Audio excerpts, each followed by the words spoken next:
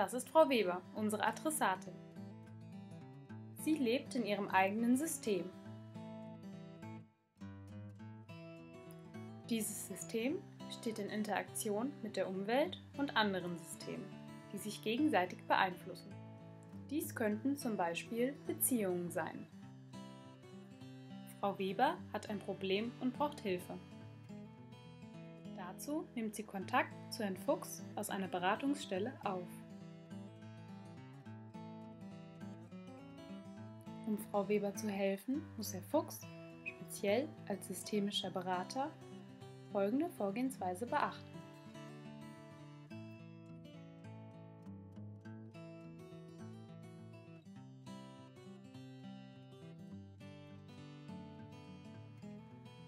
Beziehung aufbauen, Anliegen konkretisieren, Bearbeitungs- und Lösungsebene finden und Impulse geben.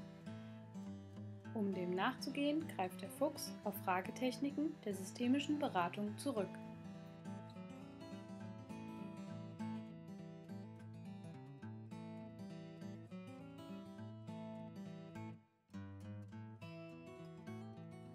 Diese werden zirkuläre Fragen genannt. Zirkulär bedeutet Information gewinnen und Information geben.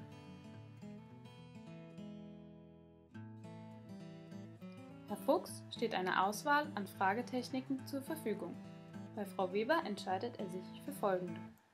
Informationsfragen, Zielfragen, Fragen nach Problemen, Fragen nach Ausnahmen, Fragen nach Ressourcen, Wunderfragen und skalierende Fragen.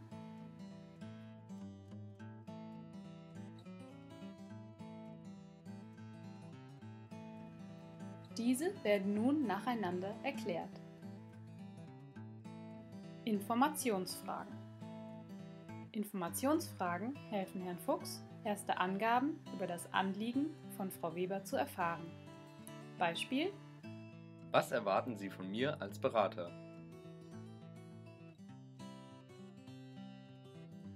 Zielfragen. Durch Zielfragen hilft Herr Fuchs, Frau Weber ihre Ziele für sich zu benennen. Beispiel Was wünschen Sie sich für den morgigen Tag?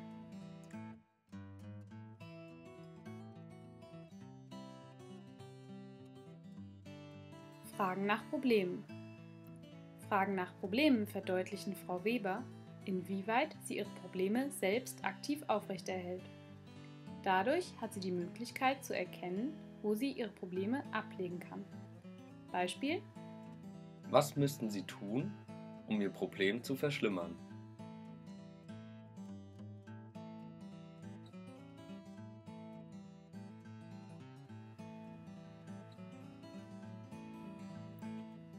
Fragen nach Ausnahmen. Mit den Fragen nach Ausnahmen kann Herr Fuchs Frau Weber verdeutlichen, wann ihr Problem nicht auftritt. Beispiel Wann tritt das Problem nicht auf?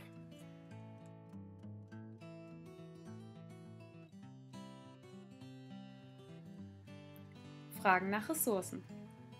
Um Lebensbereiche und Situationen von Frau Weber zu erfassen, in denen sie sich wohl und kompetent fühlt, stellt man die Frage nach Ressourcen. Beispiel Was gefällt Ihnen an sich selbst?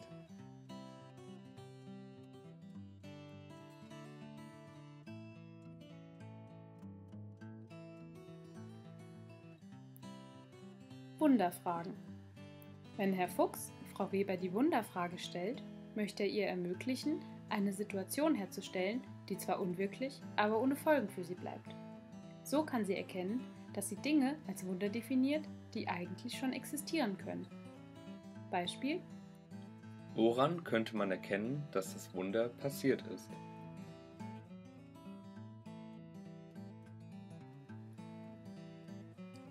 Skalierende Fragen.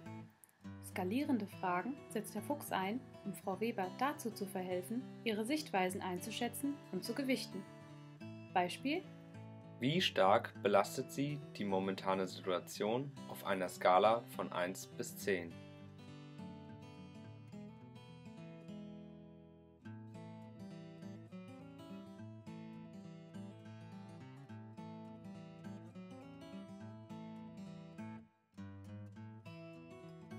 Nach Beendigung des Beratungsprozesses ist Frau Weber in der Lage, ihr System besser zu verstehen und neue Handlungsweisen zu gebrauchen. Dazu musste Frau Weber ihre Beziehungskonstellationen aufbrechen und Verhaltensweisen erkennen.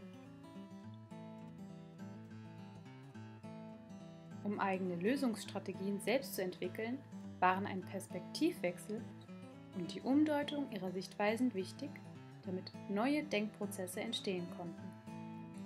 Somit haben die zirkulären Fragetechniken durch Herrn Fuchs Frau Weber dazu verholfen, ihr Anliegen selbstwirksam zu klären. Weiterhin kann Herr Fuchs Frau Weber darin unterstützen, sich der Lösung ihres Problems zu nähern.